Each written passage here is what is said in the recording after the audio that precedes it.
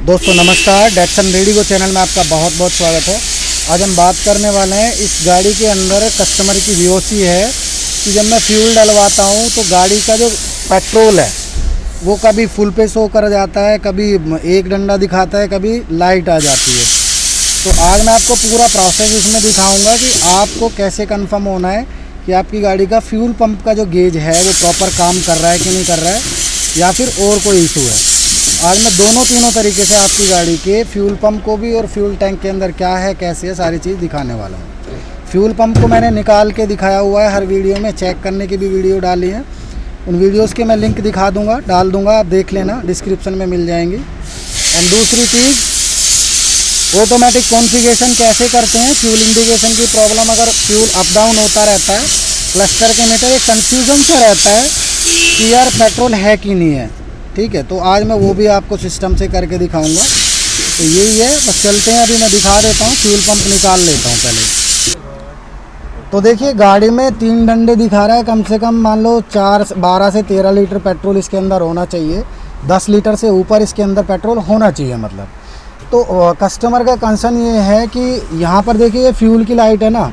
कभी कभी तो ये शो कर जाती है, पेट्रोल बेशक हमने दस बारह लीटर भी डलवाया होगा वो ठीक है? या फिर क्या होता है, एकदम फुल टैंक दिखा देगा।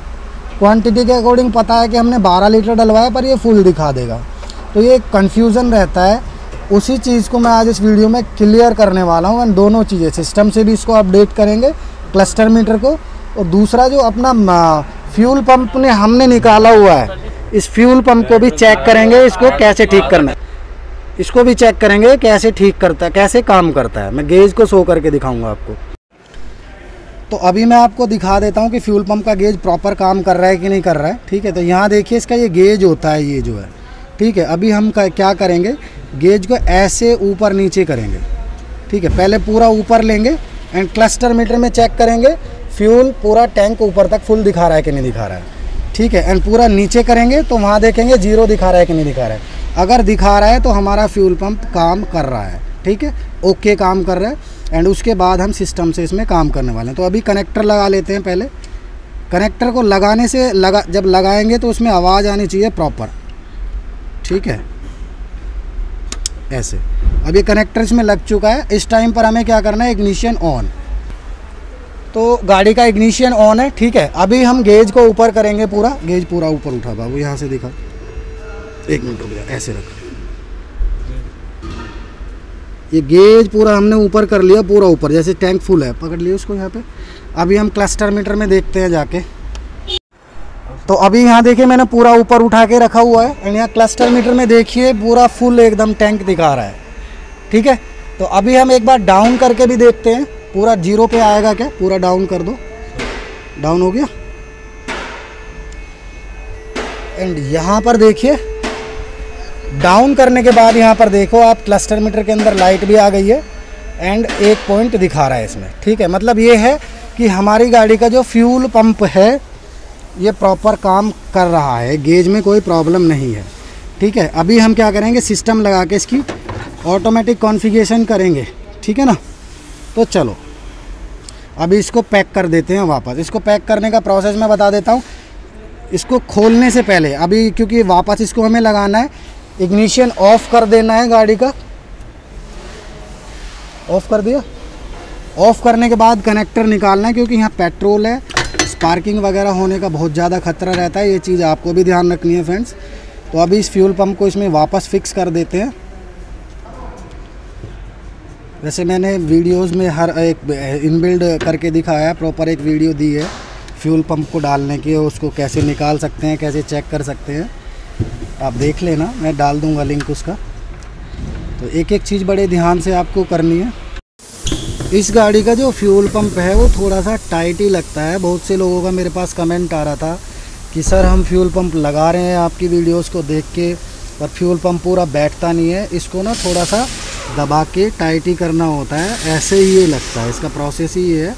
तो देखिए, जैसे एक हाथ से ये दबाया हुआ है दूसरे हाथ से नट लगा रहे हैं। ठीक है तो प्रॉपर ऐसे ही लगेगा थोड़ा सा दबा के लगाना पड़ता है, क्योंकि इसके नीचे रबर की एक रिंग रहती है।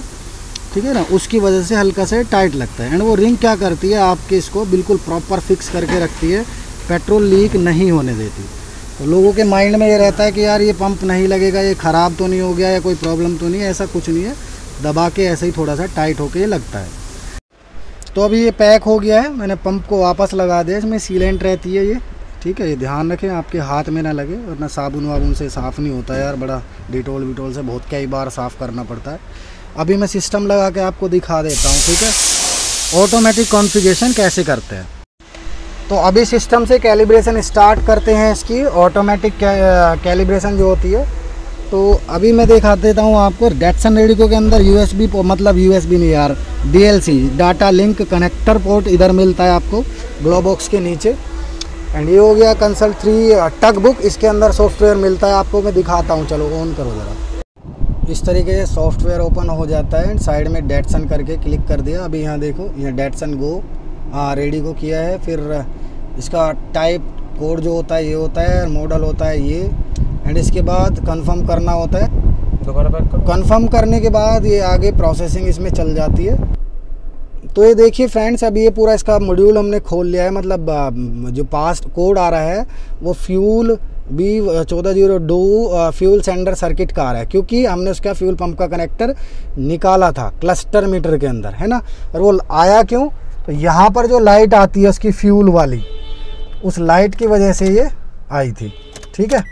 ये जो लाइट है, ये दिखाई दे गई थी, इस वजह से ये पास्ट में ई e के कोड आ गया। अभी इसको इरेज कर देते हैं हम। ठीक है इरेज यहाँ से होगा एक्सक्यूट हो जाएगा वो। कर दे भाई उसको।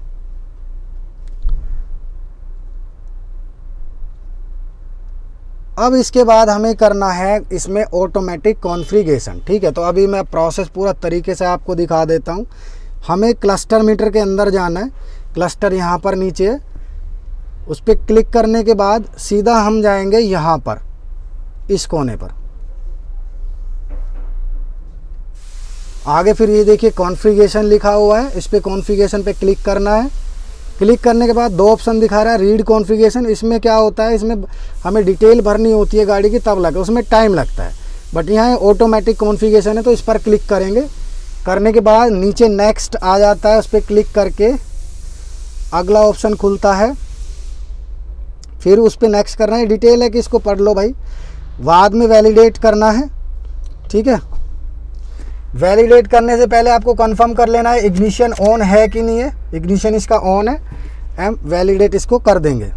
मतलब ये स्विच को ऑन कर देंगे, यहाँ प्रोसेसिंग चल जाएगी। एंड मीटर में कुछ लाइट आए मतलब बिलिंग होगा मतलब साउंड कुछ। तो ये देखिए, ठीक है, इससे क्या हुआ? और यहाँ पर देखिए हंड्रेड परसेंट हो गया है एंड यहाँ हम इसको एंड कर देंगे। एंड होते ही ये प्रोसेसिंग कंप्लीट हो जाती है। एंड इसका जो ऑटोमेटिक कॉन्फ़िगरेशन है, वो भी कंप्लीट हो चुका है। हमने दोनों तरीके से चेक कर लिया है कि क्लस्टर मीटर के अंदर भी कोई प्रॉब्लम नहीं है। एंड जो फ्यूल की जो प्रॉब्लम थी इंडिकेशन की, वो इसके अंदर ठीक हो चुकी है, जैसे इसमें साउंड आया ऑटोमेटिक कॉन्फ़िगरेशन करते ही। एंड फ्यूल पंप भी हमने चेक कर लिया है। तो अभी मैं आपको इसके अंदर पेट्रोल की कंडीशन मतलब क्या है मतलब कितना पेट्रोल होगा, वो भी दिखा देता हूँ। तो मैं अभी आपको दिखा देता हूँ ऑटोमेटिक कॉन्फ़िगरेशन हमने कर दिया इसका क्लस्टर मीटर का। एंड पीछे फ्यूल पंप का गेज भी हमने चेक कर लिया है। उसको ऊपर नीचे करके, वो भी ओके वर्किंग कर रहा है। अब मैं आपको सिस्टम के अंदर गाड़ी सिस्टम में ये दिखाता हूँ कि गाड़ी के अंदर अभी कितने लीटर पेट्रोल है। ये चीज़ भी चेक की जा सकती है। तो हमें सिंपल क्लस्टर मीटर पर जाना है। क्लस्टर मीटर पर जाने के बाद यहाँ देखिए ऑप्शन आएँगे बहुत सारे। ठीक है data monitor work support active test E C identification and यहाँ क्लिक करेंगे तो ऑटोमेटिक कॉन्फ़िगरेशन हो जाता है, वो मैंने आपको दिखाया। डाटा मोनिटर में हर एक चीज़ की वैल्यू ले सकते हैं क्लस्टर से रिलेटेड जो भी है एंड इसके बाद वर्क सपोर्ट में क्लस्टर मीटर के अंदर जो भी लाइट है वगैरह वो चला के चेक कर सकते हैं एक्टिव टेस्ट कर सकते हैं हर एक चीज़ का। तो अभी हम डाटा मोनीटर पे क्लिक करेंगे। करने के बाद तो जैसे ही मैंने क्लस्टर को ऑन किया डाटा मोनिटर में जाके तो यहाँ पर देखिए फ्यूल लेवल डिस्प्लेड लिखा हुआ है। इस पर जैसे ही हम क्लिक करके स्टार्ट करते हैं तो जो टैंक के अंदर पेट्रोल है लीटर में, वो आपको दिखाई दे जाएगा। ये देखिए क्लस्टर में फ्यूल लेवल डिस्प्लेड 12 लीटर तो इस गाड़ी के अंदर 12 लीटर पेट्रोल है और तीन डंडे दिखा भी दे रहा है। तो यही था दोस्तों इस वीडियो में। मैंने आपको फ्यूल भी दिखा दिया कितना है एंड तीन डंडों के अकॉर्डिंग 12 लीटर पेट्रोल है तो इसके फ्यूल सिस्टम में अब कोई एरर नहीं रहा है। तो दोस्तों यही था इस वीडियो में। मेरी वीडियोस को लाइक करने के लिए धन्यवाद। चैनल को सब्सक्राइब करने के लिए आपका बहुत बहुत धन्यवाद। Thank you so much